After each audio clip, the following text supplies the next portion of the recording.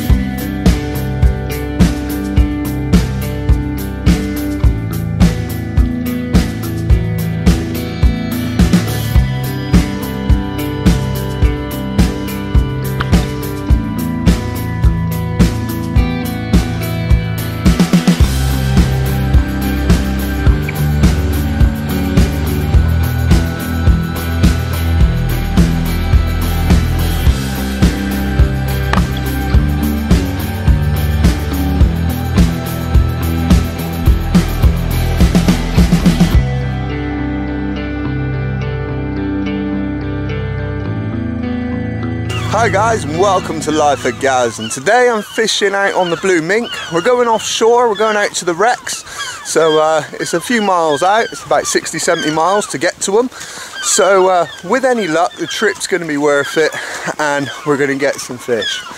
Now I'm going out on the Blue Mink today, uh, it's a charter boat which comes out of Fleetwood. If you want to know anything about this charter boat what I'm going to do is leave a link in the description to his Facebook page and then you'll be able to ask the skipper any of the questions you need. But for now, fingers crossed, he's going to put us on the fish today.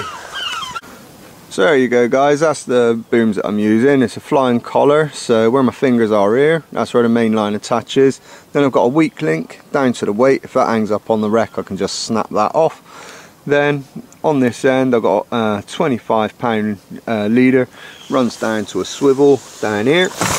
That one then uh, is my weak link obviously on this end. So if the lure hangs up uh, then I've got like a 50 pound rubbing leader. And I'm going to start off with the old rhubarb and custard sidewinder. And that one done the business for me last time. But if that's not working I've got a little selection down there I can choose from.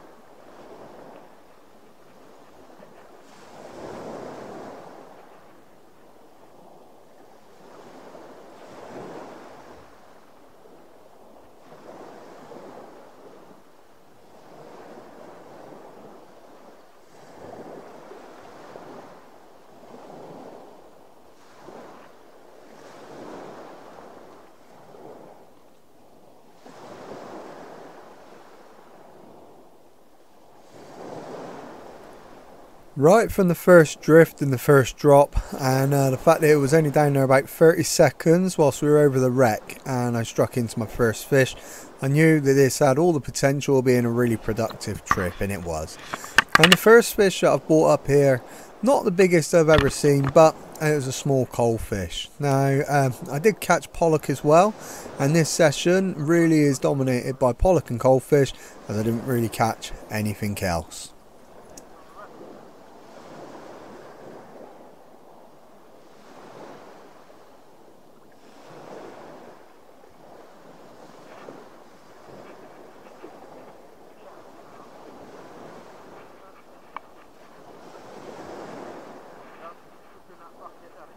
On the second pass over the wreck, I had to wait a little bit longer. I didn't hit anything straight away uh, when we got onto the wreck. In fact, this was close to the end of the drift.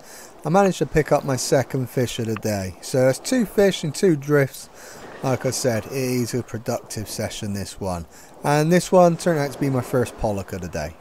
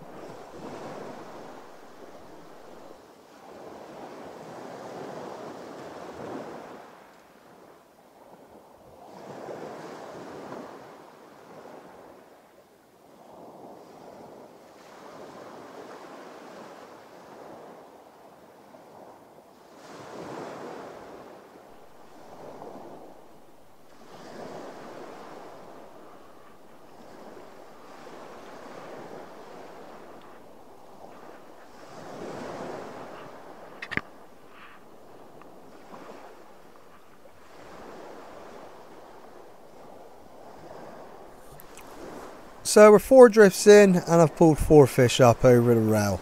And on the sea, uh, like I said, this is a productive session and I was catching fairly readily. Now, my techniques when I was out here fishing, obviously, uh, I fish a lot of the time, I fish mainline, which is braid, especially when I'm sea fishing. And this means that no matter what distance or how much line I got out, even on the last wreck where we we're fishing into 320 feet of water, this meant that I can feel pretty much everything which is going on down at the hook end of the line. So when you see uh, when you see me pulling these fish in, what you'll see before the uh, initial sort of strike is you'll see me just stop winding. So as I hit the bottom and I have a couple of turns on the reel to bring that weight up and sort of clear it from any snags down there, then I've got a slow retrieve and if I feel something hit that then what I'll do is I'll just stop that retrieve just momentarily. And this enables the, whatever has hit it to be able to try and swallow that bait before I strike into it. And that's what I feel is one of the advantages of fishing with braid is you get a good idea of what's going on down there. I have wreck fished in the past with mono and uh, when you fish with mono you just feel it go a little bit heavier to me and you don't get the same sort of feeling and sensation of what's going on down at the business end. Now when I was bringing these fish in, uh, some of the fish which come up you'll see them spit up little bits of other fish. I did actually pull one of these out of one of these fish because um, it coughed up in its mouth and as I pulled it out I realised the fish which are actually chasing around down there were sprats. Now I could have changed over. I did have some um, sprat sort of shaped shads, um, but the uh, little um, sand eel sidewinders, uh, started with the rhubarb and custard, uh, were actually working quite well. So I was reluctant to change over to them. But anyway, I was having fun pulling all these fish up.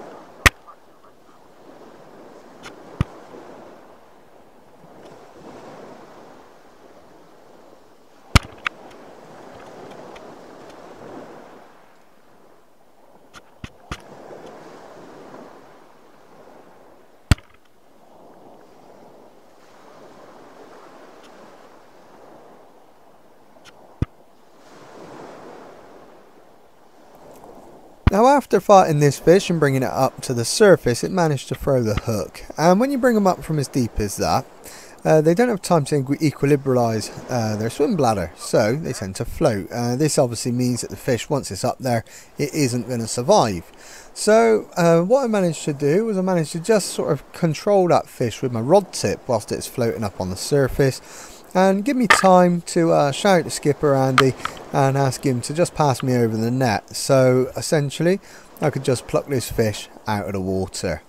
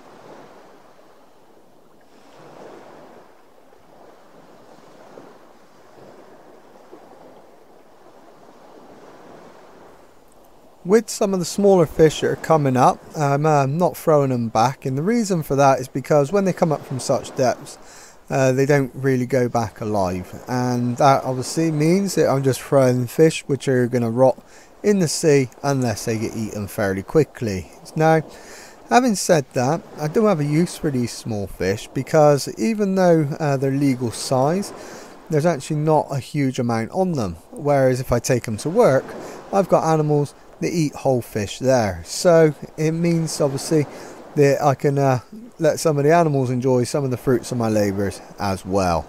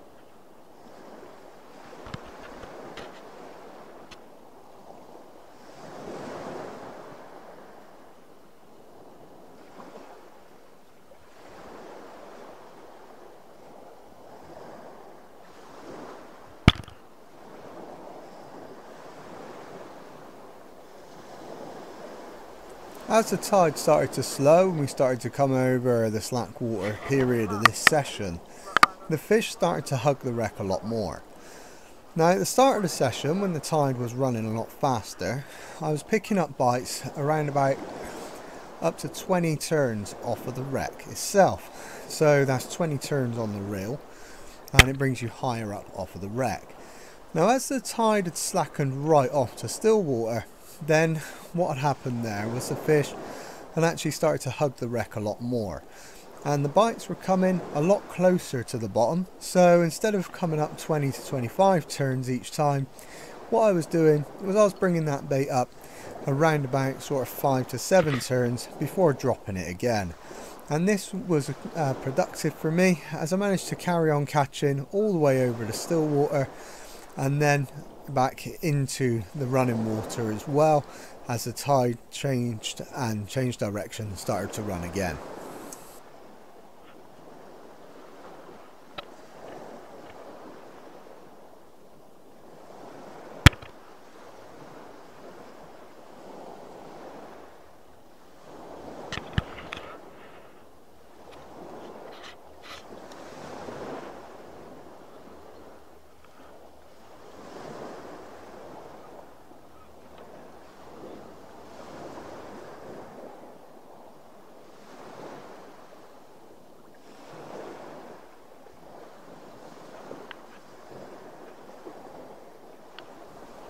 On my last wreck fishing video I got a comment uh, saying about obviously the size of the fish down south are a lot larger.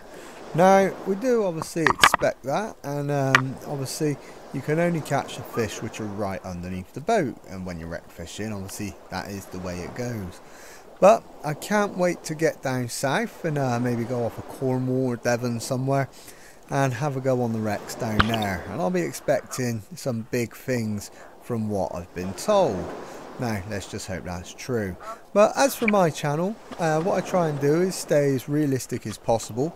And I do this by making sure that I post every single fish that I catch, irrespective of their size, uh, rather than just cherry picking the three or four good fish out of uh, a session like this one. So I uh, hope you guys enjoy that and um, that is obviously one of the fundamentals of my channel is that I'm quite honest about all the fish that I catch.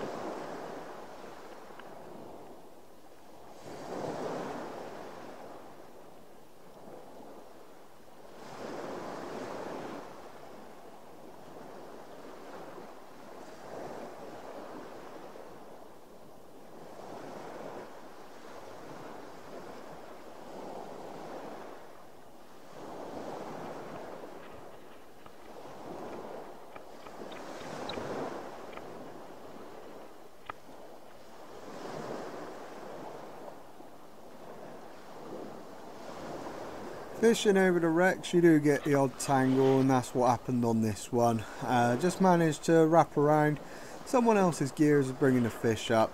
Luckily I managed to land the fish, untangled everything and then we could both carry on fishing. At this point in the session I was starting to uh, catch more than one fish in a single drop. Uh, so on some drifts I was catching a fish right at the start of the drift, bringing it up, managing to get back down to the bottom and then pick up a second fish on the rear of the wreck. Now, having said that, uh, wreck fishing, uh, you do lose gear, and um, I managed to snap off a couple of lures and a couple of weights down on the wreck, uh, hence why you've seen at the start, I've got a lot of weak links within my rigs, and they are literally just so I can get the majority of it back without having to sort of re-tie every single part of it just tie a new trace on or a new lure on or even a new weight. But anyway that's that. And uh, the fishing obviously as you can see is still going well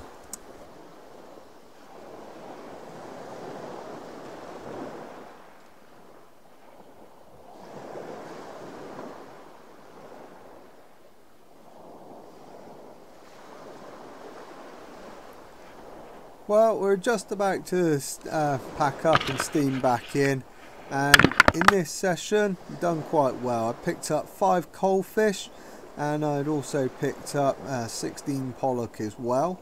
So obviously gives me a total of 21 fish and to me that's a pretty good day out and a good way of enjoying this hobby. Well guys, I've had a good day out on wrecks today. I've had pollock up to about five pound, a few coalfish as well. Now, unfortunately though, it's time to call this one a day. If you've liked this video, make sure you hit the subscribe button. Also, check out my latest fishing video to the side and my boat fishing playlist up top.